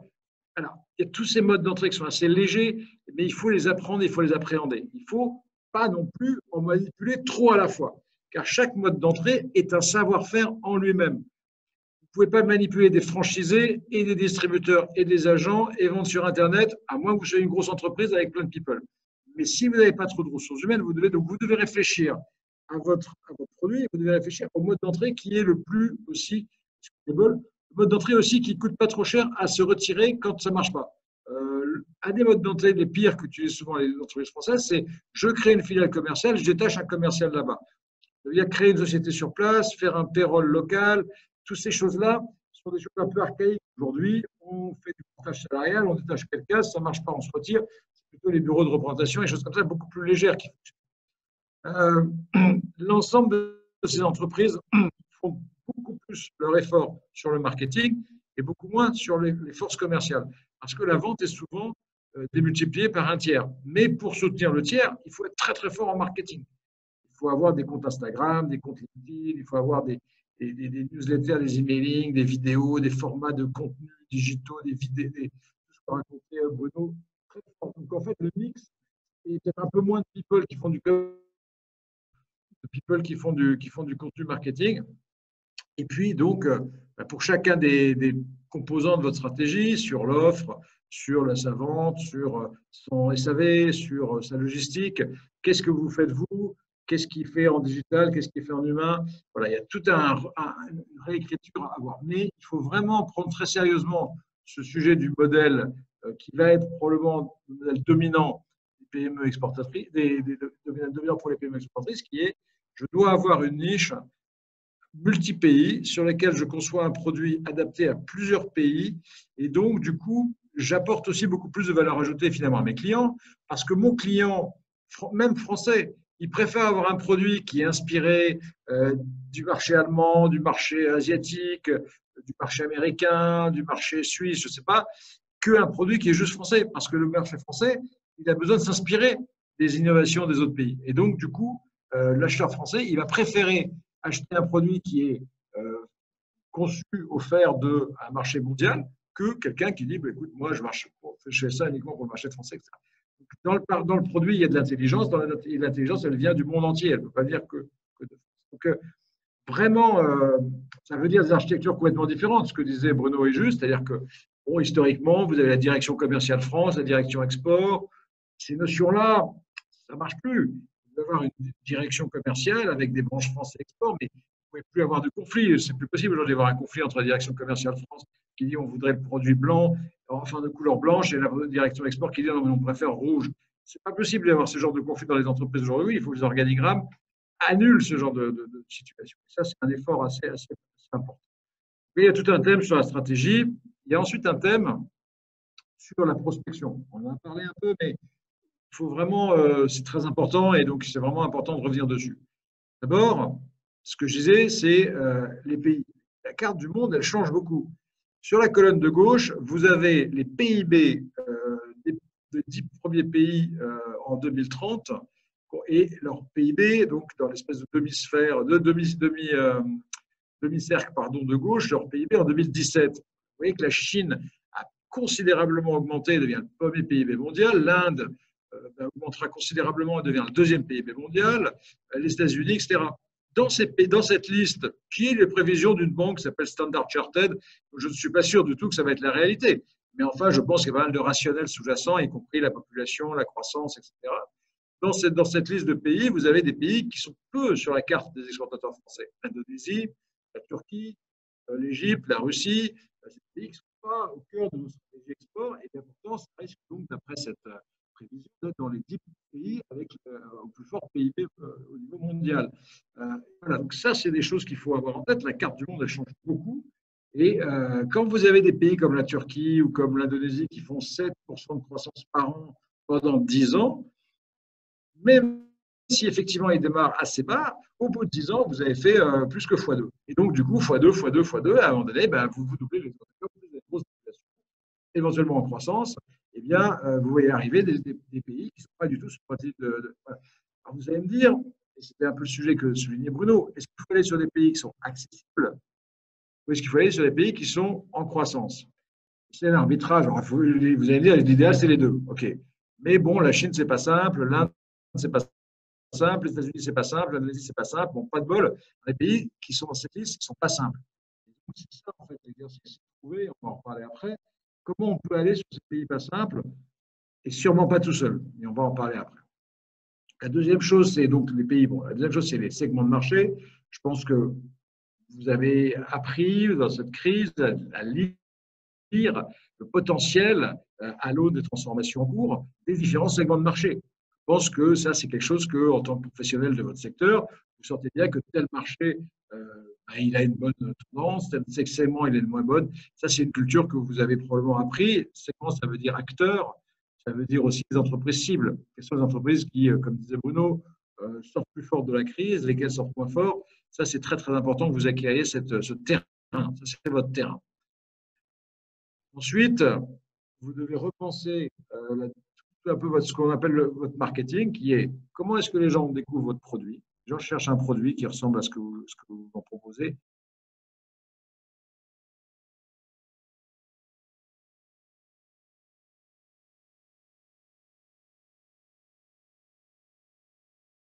puis comment est-ce qu'ils engagent, quelle est la première personne, premier euh, contact humain euh, avec votre entreprise? Et ça, ce chemin, c'est ce qu'on appelle un parcours utilisateur dans, dans, le domaine du web, mais en fait, c'est aussi un parcours utilisateur dans le domaine du marketing. C'est je découvre un produit, je m'intéresse à l'entreprise et j'engage avec les personnes. Vous devez vous mettre dans la peau d'un tiers, vous devez refaire ce chemin aujourd'hui en vous disant est-ce que les gens de la deuxième, la troisième décennie du, 21e siècle vont avoir une bonne image de mon produit, ils vont bien pouvoir le voir, il est au bon endroit avec une bonne image. C'est plus important d'avoir une bonne image que d'avoir du beaucoup d'efforts de volume. Il faut surtout être très juste. Est-ce que c'est juste mon produit? Mon entreprise, c'est juste, les gens l'apprécient, la comprennent. Et est-ce que le premier contact est, est Ensuite, bon, il y a d'autres tracks, qui sont des tracks un peu historiques, qui ne sont pas spécifiques à, l'action Covid, mais qui sont déjà en œuvre des produits à, valeur ajoutée, à plus forte valeur ajoutée technologique, l'attente de la réactivité, l'adaptabilité. Donc ça, c'est les transformations lentes de votre offre et que vous devez imprimer et continuer à imprimer. La valeur ajoutée service, euh, la formation, le marketing, comment utiliser le service, etc. Et puis l'évolution des business models qui reste, à mon avis, un, point qui est vrai. Euh, les acheteurs vont avoir, alors c'est vrai dans, le B2B, enfin, vont avoir envie d'avoir des offres à l'usage, du pricing à l'usage, euh, du financement. Il faut aller la vente, si vous voulez, d'une palette, d'un produit avec un bon de commande, un chèque ou une facture, un virement. Cette vente-là, elle va euh, être difficile par rapport à un concurrent qui vendra un accompagnement, marketing, formation, euh, financement, etc. Et donc, l'avantage compétitif qu'apportent tous ces éléments d'enregistrement de, de, de business model, c'est très, très important. Et mon troisième point, c'est vraiment que euh, dans cette complexité, vous ne pouvez pas faire les choses tout seul seul. Et euh, vous devez apprendre, quand vous avez à reprendre toute votre entreprise, toutes les, étapes de la chaîne de valeur et dire voilà, est-ce que c'est bien qu'on le fasse? Est-ce que c'est mieux qu'on le fasse faire? Ou est-ce que c'est mieux qu'on le fasse avec? En France, on n'est pas beaucoup dans, cette, euh, dans cet arbitrage. On est souvent dans est-ce que je le fais ou est-ce que je ne le fais pas? C'est un peu un arbitrage pauvre. Le vrai arbitrage, c'est est-ce que je le fais, est-ce que je le fais faire, est-ce que je le fais avec quelqu'un, est-ce que je ne le fais pas? Quand même quatre, quatre options, beaucoup plus riches. Ça correspond notamment dans le domaine de l'international. Est-ce que je suis capable de le faire? Est-ce que je peux l'apprendre avec quelqu'un? Est-ce que je peux acquérir cette compétence? Ou est-ce que c'est une compétence qui est trop loin de moi et je préfère la faire avec quelqu'un d'autre ou la faire faire? Euh, Je veux vendre en Chine. Ce n'est peut-être pas forcément une compétence que je suis en capacité d'acquérir. Ce n'est pas une compétence que j'ai. Et donc, je vais plutôt essayer de me rapprocher de quelqu'un qui est capable de m'apporter toute ou partie de cette compétence. C'est ce qu'on appelle l'externalisation export, qui est un sujet qui existe dans la prospection, mais aussi dans le SAV, dans la vente, dans plein de domaines. Je ne connais pas très bien l'e-commerce. Est-ce que je peux acquérir cette compétence? Je ne suis pas sûr. Peut-être je peux, peut-être je ne peux pas. À ce moment-là, je fais un partenariat avec une entreprise qui est une experte du e-commerce. Je choisis bien mon partenaire, bien sûr, mais plutôt que de ne pas faire, il vaut mieux faire avec quelqu'un. Euh, il vaut mieux faire avec une société qui revend. Vous vendez et quelqu'un revend en Chine. Vous n'êtes pas en Chine, c'est pas grave. Il y a des gens qui vendent des pommes sur le marché à Téhéran qui n'ont jamais été à Téhéran parce qu'ils le vendent à Ragis. Ils, vendent leur, ils livrent les pommes à Ragis et il y a un négociant qui fait le reste du, le reste du travail. Il faut penser de manière plus souple. Euh, les Belges, les Belges, les pays, euh, les pays, les Pays-Bas sont des, pays où les gens pensent de manière très souple. Je ne sais pas faire, c'est pas grave. Je vais trouver quelqu'un avec qui faire. En France, on n'a pas euh, complètement cette logique. Beaucoup de personnes, bien sûr, travaillent comme ça, mais, pas ça, c'est sous-tendu aussi par la constitution d'un réseau. Vous ne pouvez pas travailler avec si vous n'avez pas un réseau, un réseau social, c'est-à-dire un réseau avec de la réassurance, du contrôle social, des gens avec qui vous pouvez avoir confiance, qui ne vont pas euh, vous faire de mauvais coups parce qu'ils sont dans un univers de réassurance euh, et, et, des tiers, ils ont de la relation, créé du lien entre vous. Ces tiers, ça peut être simplement d'autres exportateurs avec qui vous partagez euh, euh, des compétences, des informations sur les marchés, euh, des techniques de marketing, des actions marketing, ou même de la vente, ou des approvisionnements.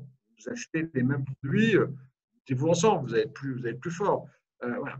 Vous savez, il y a beaucoup, de choses. Donc, ça peut être des exportateurs, ça peut être des experts fonctionnels. Je appelle experts fonctionnels, c'est je ne connais pas le Nigeria, j'ai envie de, vendre mes produits au Nigeria parce qu'il y a quand même beaucoup de gens beaucoup d'argent au Nigeria. Euh, eh bien, euh, je vais trouver une, force de quelqu'un qui va me mettre à disposition une force de vente euh, sur le Nigeria et qui va distribuer mes produits. Mais je ne vais pas piloter cette vente car le pays est trop compliqué pour moi et je ne pense pas pouvoir acquérir cette compétence et je ne pense pas pouvoir le faire. Et, voilà. Des experts fonctionnels dans la vente, dans le e-commerce, euh, dans la représentation commerciale, dans le SAV, dans, toutes sortes de, sujets. Euh, voilà. Donc, les partenaires commerciaux sont aussi des gens avec qui vous pouvez partager le risque. C'est quelque chose d'intéressant parce que euh, du Nigeria, vous pouvez dire bah, écoute, voilà, on fait un partage de risque, tu lances, la prospection, etc. Vous avez plus de gens autour de vous. Alors, il faut apprendre à gérer cette relation avec eux. Il faut être en position de force, c'est-à-dire toujours le produit et le marketing. C'est ça, en fait, finalement, qui crée votre position de force par rapport à la négociation avec ces vendeurs, revendeurs, distributeurs, e-commerçants, euh, sites web, places de marché euh, euh, et tous ces gens-là. Donc, vous devez réinvestir plus votre énergie, votre intelligence sur ces, sujets-là, le produit, le marketing, et plus de partenariats peut-être dans la commercialisation. ce que je pense, on peut dire en conclusion de, de tout ce qu'on se dit, c'est qu'il y a dans une transformation besoin de beaucoup de compétences. Et donc, en fait, vous devez toujours avoir une grille de lecture dans, votre, dans vos décisions qui est de dire, est-ce que par cette décision, est-ce que j'ai la compétence pour faire l'action euh, que je décide, donc je veux aller prospecter euh, la Suède, est-ce que j'ai la compétence pour faire ça? Est-ce que je suis capable de la, de, la rapprocher, de l'approcher de moi, donc de l'acquérir la, de avec un tiers ou de l'acquérir tout court ou de la trouver chez un partenaire? Mais est-ce que dans ma chaîne d'action sur la, sur la Suède, est-ce qu'il y a suffisamment de compétences pays?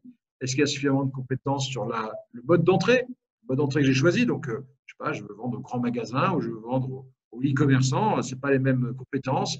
Est-ce que je les ai? Est-ce que j'ai ces compétences? Pas forcément moi, mais encore une fois dans l'équipe que je mets autour. Euh, voilà, c'est la compétence qui, à la fois, euh, permet donc de, déclencher des décisions d'action,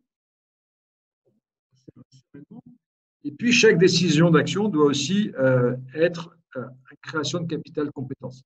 Euh, ok, maintenant, je sais vendre euh, par le e-commerce. Donc, je vais scale up ce truc-là, je vais le répliquer, je vais réutiliser, je vais partir de ma compétence nouvelle pour l'utiliser plus largement et gagner de l'argent avec.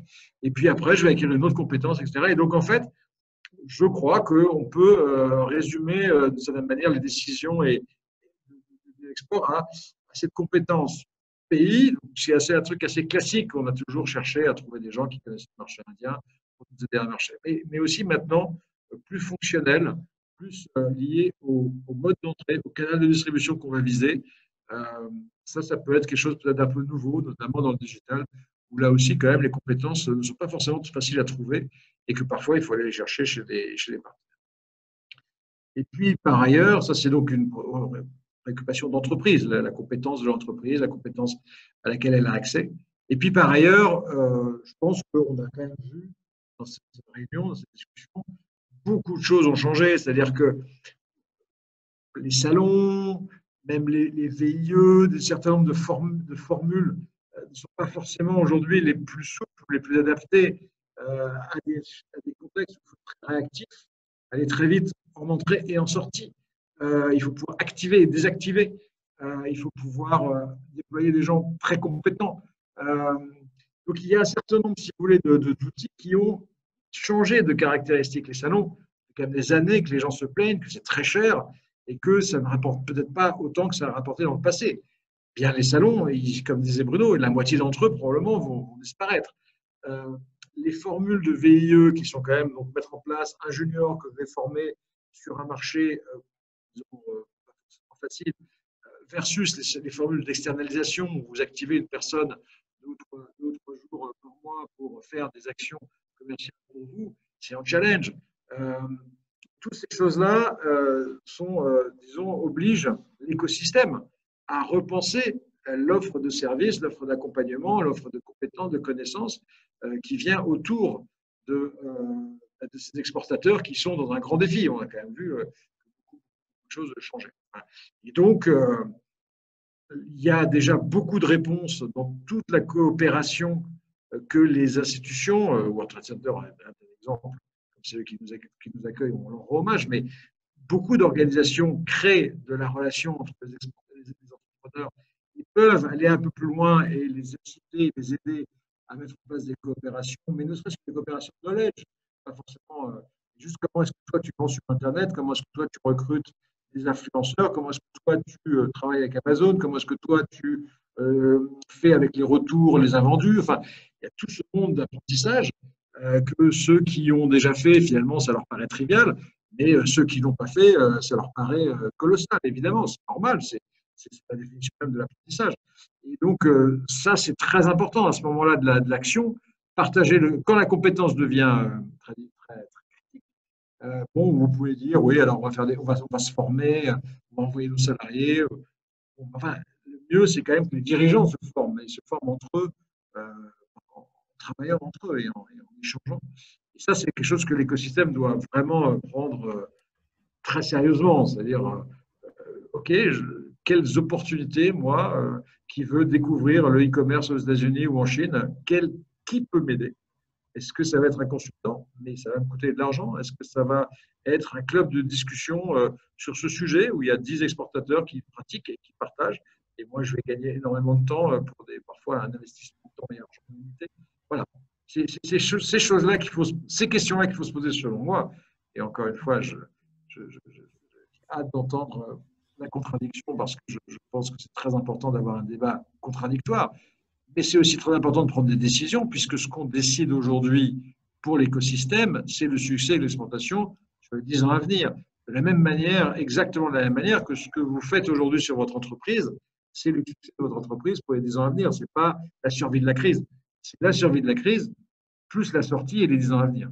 C'est pour ça que c'est très important d'avoir cette réflexion, prendre le temps. La période de Noël est une période où on se met un peu en arrière, c'est peut-être le moment d'approfondir encore cette réflexion sur euh, c'est quoi mon entreprise pour les 10 ans à venir et c'est quoi aussi l'écosystème qui l'accompagne dans les 10 ans à venir.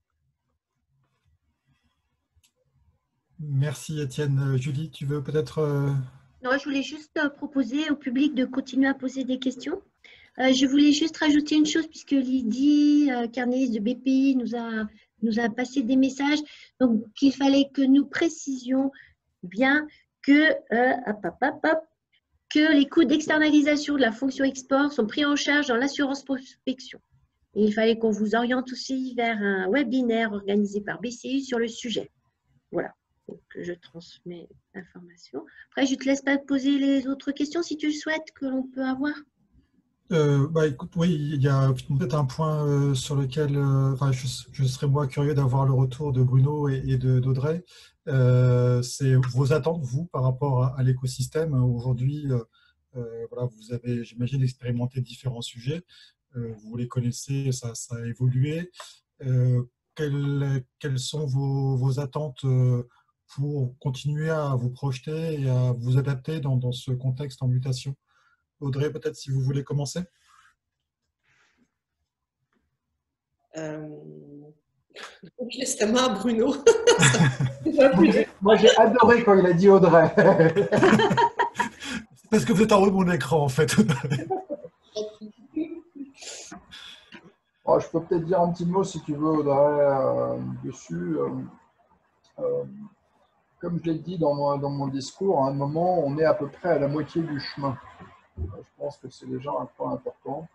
Donc, dans la première moitié, finalement, on a tous bricolé et fait du mieux qu'on peut.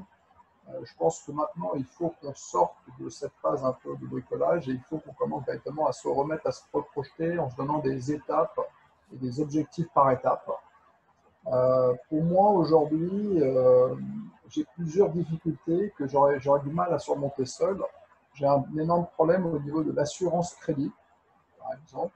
Donc là, l'écosystème doit se mobiliser autour du sujet d'assurance crédit. La majorité de mes clients importateurs euh, mondiaux ben, euh, face, par la COFAS ou l'Hermès ou d'autres, à une diminution de leur, euh, des assurances sur les encours crédit clients, ce qui fait qu'on passe nos clients en, prépaiement. Donc ça, ça freine le business. le, le, le, deuxième sujet qui va être important, la France avait beaucoup travaillé sa marque territoriale. La French Tech avait beaucoup aidé d'ailleurs l'industrie dans la capacité à donner une image plus positive de la France.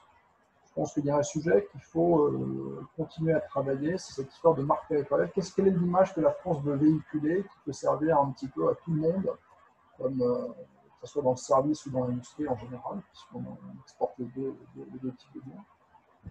Euh, le troisième sujet, et ça c'est Étienne qui, en a parlé, euh, il y a beaucoup de bienveillance chez les exportateurs.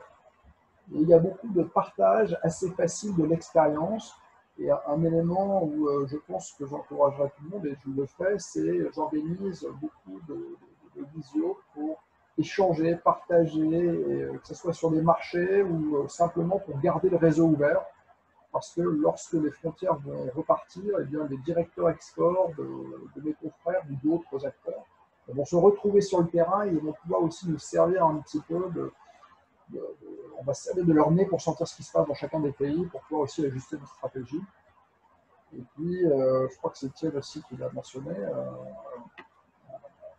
former ses collaborateurs sous de, de, nombreuses dimensions pour s'assurer que la période qui est devant nous soit la plus propice possible.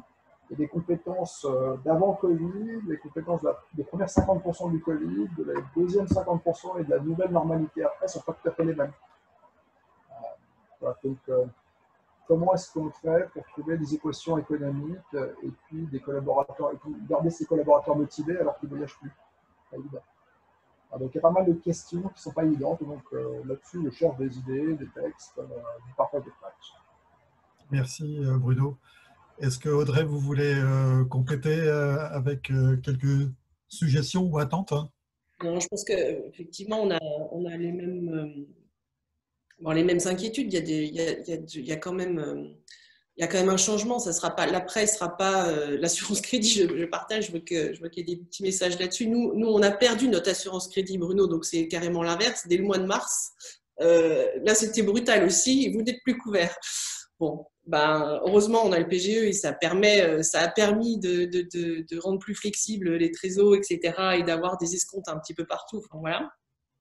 Je trouve que on a été, euh, quand on est proche de l'export, on, connaît euh, les difficultés de certains pays, des chaînes de clients qui ont dû fermer quatre boutiques parce qu'il n'y a pas d'aide dans le pays, parce que c'est difficile. je trouve qu'on a, je trouve qu'on a, on est fier de, vivre en France pour ça. Je trouve qu'on a eu de très belles aides et, on, on, est, on est assez satisfait. Je n'ai pas de, demande supplémentaire. Je pense que on, a l'habitude de on est un peu seul hein, face à l'export toujours. Hein. Je pense que c'est toujours challengeant l'export et, c'est vrai que, euh, enfin voilà, je trouve qu'on a tous les outils quand même. Pour être très honnête. D'accord, merci Audrey. Peut-être euh, effectivement relayer quelques éléments soulevés par euh, Lydie sur Bruno, peut-être préciser le, problème sur l'assurance crédit que, vous avez rencontré. J'imagine que c'est des, lignes de crédit qui sont retrouvées euh, réduites ou fermées, c'est ça? Et euh, en fait, on a perdu pour nos clients importateurs où on a perdu la totalité ou une partie de l'enveloppe crédit qui était assurable. Donc là, on a beaucoup discuté avec nos assureurs. On a travaillé ce qu'on appelle les CAP et les CAP+, qui sont des outils qui permettent en fait d'augmenter l'enveloppe crédit à des coûts supérieurs, c'est-à-dire que l'assurance crédit vous coûte X, le cap, ben, ça vous dit, imaginons que j'ai 100 000 euros qui sont assurables, mais que normalement j'ai 200 000 euros. Si je veux repasser à 200 000, ben, je vais prendre un cap qui me permet de doubler l'enveloppe crédit. Mais au lieu de me coûter, je ne sais pas, 0,5% du chiffre d'affaires fait, ça va me coûter 1%. Et un plus, c'est lorsque je perds, euh, je suis descendu à 0, je peux demander un plus, mais là, ça va plutôt me coûter 2%, voire 3% du chiffre d'affaires. Donc en fait, il y a deux outils que l'État a mis en place, les assureurs, qui permettent d'augmenter, donc soit passer de zéro à quelque chose, soit de doubler l'enveloppe actuelle. Et grâce à ces deux outils, on a réussi à naviguer à peu près à vue euh, jusqu'à maintenant. Audrey l'a très bien dit, le PGE a permis à toutes les entreprises françaises d'avoir beaucoup trésorerie. Euh, le chômage technique avec des très hauts niveaux de remboursement a permis de garder un pouvoir d'achat très fort en France, donc la consommation est encore forte en France. Ce n'est pas le cas dans de nombreux pays. Donc, euh, quand je regarde, juste c'était fort dans, la péninsule indienne. Hein, voilà, les marchés sont à l'arrêt. Si je regarde l'Espagne en ce moment et l'Italie, il y a une, accélération de la paupérisation de la classe moyenne, puisque l'État a beaucoup moins soutenu. Les entreprises n'ont pas eu de PGE, donc elles sont à bout de souffle. Et donc, les encours crédits des individus et des personnes sont réduits très bas. Donc, en ce moment, faire du business dans ces pays, c'est difficile parce que bah, les trésoreries en sont durs donc, euh, je ne sais pas si ça, tout le monde a compris. Très bien, écoutez, euh, il y a encore quelques questions, mais je pense qu'elles euh, ont été en partie répondues. Peut-être signaler effectivement quelques initiatives également qui, existent au niveau régional, comme le club Stratexio, dont la première promotion a démarré la semaine dernière, le 24 novembre, Étienne, non? Oui, je veux bien en dire un mot, comme je suis vice-président de Stratexio, euh, juste pour donner l'esprit de la chose. Ce sont des clubs à la base qui sont régionaux, euh, des exportateurs qui se réunissent pour partager sur leurs pratiques de euh, le pricing international, les contrats d'agents, le, marché africain, etc. Il y a aussi des clubs par pays cible. Il y a un club Chine, un club Allemagne, etc. Et donc, quand vous êtes membre d'un club Stratexio, vous pouvez ensuite aller participer au club Chine, où là, vous rencontrez que des exportateurs qui sont polarisé sur la Chine. Il y a des clubs aussi euh, sectoriels. Donc vous pouvez aller au club biomédical, au club, tech et rencontrer donc, là des, exportateurs d'un certain domaine. Et puis il va y avoir bientôt des, clubs franchises, euh, accords, de, production, enfin de licence de production, des clubs de par mode d'entrée, le club e-commerce. Donc, en fait, si vous voulez, l'idée de Stratexio, c'est de déployer des clubs de gens qui euh, partagent leur savoir-faire et la possibilité pour un exportateur, en fonction des compétences qu'il peut acquérir, de rencontrer 10 exportateurs qui font du e-commerce en Chine, 10 exportateurs euh, soudain qui, font, euh, qui sont dans un secteur donné. Donc, de, voilà, c'est avoir cette richesse de la collaboration de manière structurée. Et voilà, c'est le but de Stratexio. C'est un réseau en devenir. Je crois qu'il y, a une vingtaine de clubs maintenant. Et c'est donc un en Bretagne depuis une semaine ou deux semaines, je ne sais plus. Voilà.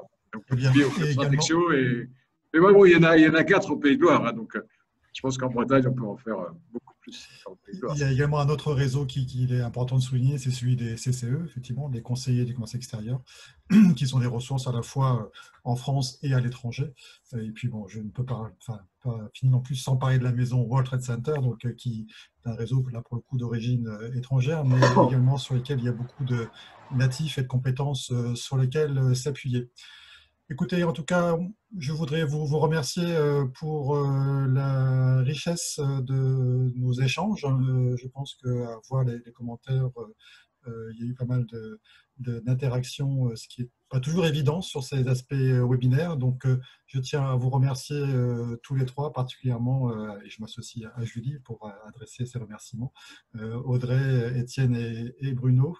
Et puis, écoutez, voilà, on tâchera de refaire un, un tour des questions pour euh, s'il y en a certaines auxquelles on n'a pas répondu et de voir avec nos intervenants s'il y a quelques compléments éventuels. Julie, je te laisse le mot à la fin si tu veux. Bon ben, je je vais pas remercier à nouveau les intervenants, mais si je le faire avec plaisir. Et je remercie aussi tous les, tous les spectateurs qui étaient là et qui ont abondé par des questions, des remarques et puis des, euh, des, informations, comme Lydie, qui ne manque euh, à aucun moment de nous faire part et de partager tout ce qu'elle sait. Très belle, très belle soirée et au plaisir de se revoir en vrai. À très bientôt. Merci beaucoup. À très bientôt. Merci pour, pour, votre organisation. Ciao. Merci. Bravo. Au revoir. Au revoir.